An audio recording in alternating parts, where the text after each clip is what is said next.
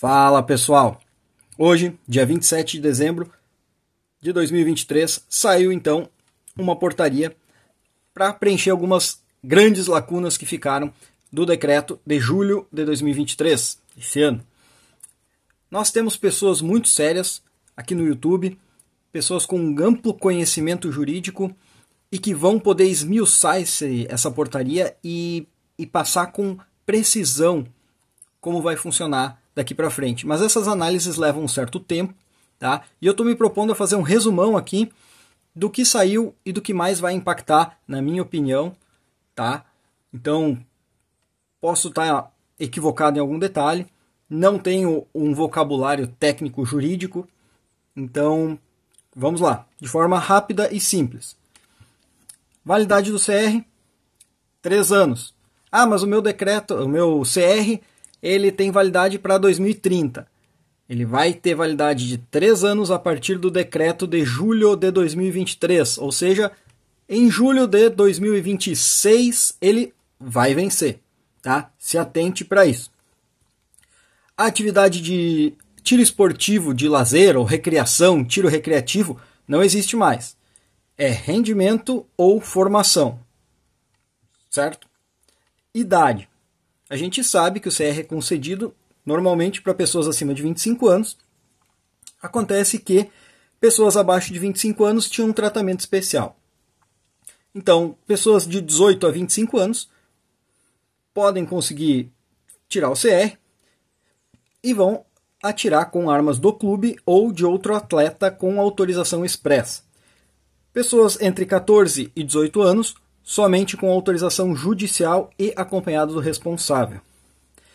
A validade do laudo psicológico passou para dois anos. Tá? Uh, se você tiver alguma, autorização, alguma alteração nos seus dados cadastrais, você é obrigado a apostilar isso, a informar isso. Tá? E agora a gente tem uma previsão legal que é 15 dias, ou seja, por algum motivo você mudou seu endereço. Você tem 15 dias para informar isso, para apostilar isso.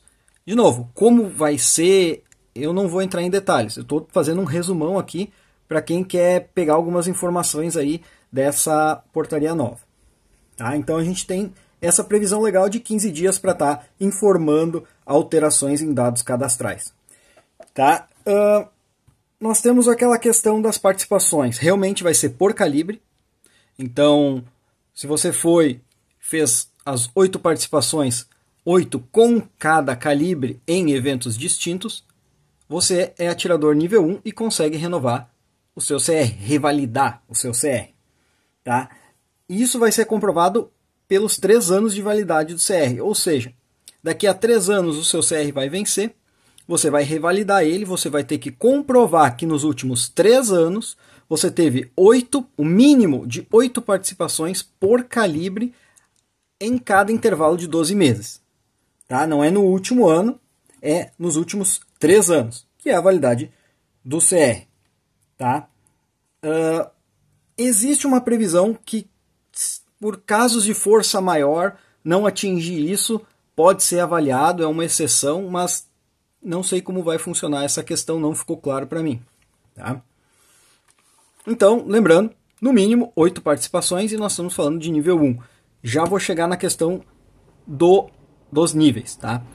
habitualidade, ela é por calibre, porém o clube costuma informar a habitualidade pelo livro, é uma. Mesmo que no livro, no livro você assine que atirou com três ou quatro armas diferentes, informe ali a quantidade das munições, uh, é informado para o sistema uma habitualidade. Como isso vai funcionar, não ficou claro aqui. Isso vai depender agora né, de ser trabalhado essa portaria pelo Exército. Renovação. E aqui é uma coisa um pouco tensa. Tá? Uh, vamos dizer que o seu nível, uh, o seu CR venceu, você vai revalidar ele, você vai ter que adequar seu acervo ao seu nível. Se você ainda é nível 1 e você tiver um acervo que não é condizente com o nível 1, você pode vir a ter problemas. O que está escrito ali?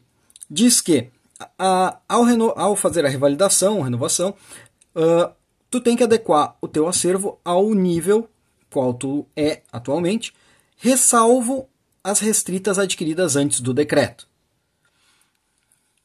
Ao meu ver, aqui, se você tiver nível 1, 4 armas, duas restritas, duas permitidas, tudo certo, porque estas duas restritas foram adquiridas antes do decreto. Então elas não contam, mas vão contar como número para o total de quatro armas.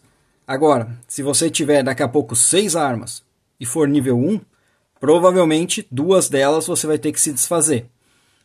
Como? Tem duas opções. Ou você transfere, né? Pode vender, ou entrega para o governo, para ela ser destruída. São essas duas opções. Existe a opção de, antes de vencer, você apostilar a atividade de caça, tentar transferir para lá, enfim. Mas é um detalhe, né? Tá bem claro que se o teu acervo não tiver adequado com a tua quantidade com permitida pelo teu nível, tu tem que adequar o acervo.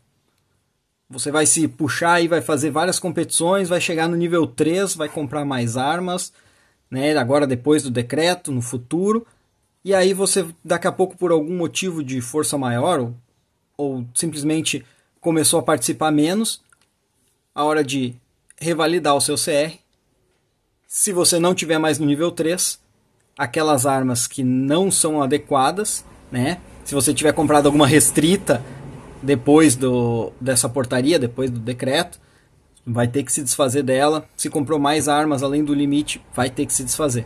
Tá? Essa é a minha uh, meu entendimento com o que está escrito aqui. Guia de trânsito, tá? Para tiro esportivo, 12 meses para treinamento, 1 mês para competição.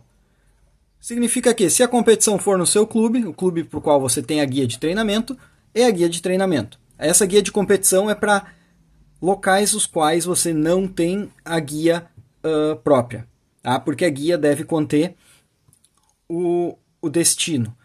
Não especifica como, mas diz que tem que ter o local de partida e o local de destino. Tá certo? Para caça, muito interessante, a caça vai ter também, tem previsão de guia de treinamento, então 12 meses para guia de treinamento e 6 meses para caça, para atividade de caça. Guias para outras finalidades também, um mês.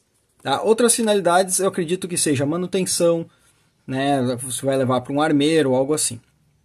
Os crafts, assim como o CR, 3 anos de validade.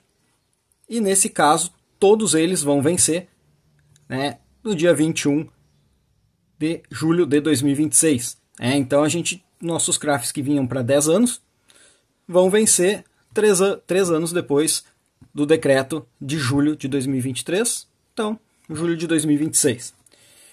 Tá? Insumos. Coisas boas e coisas ruins. O bom, agora nós temos uma cota de pólvora.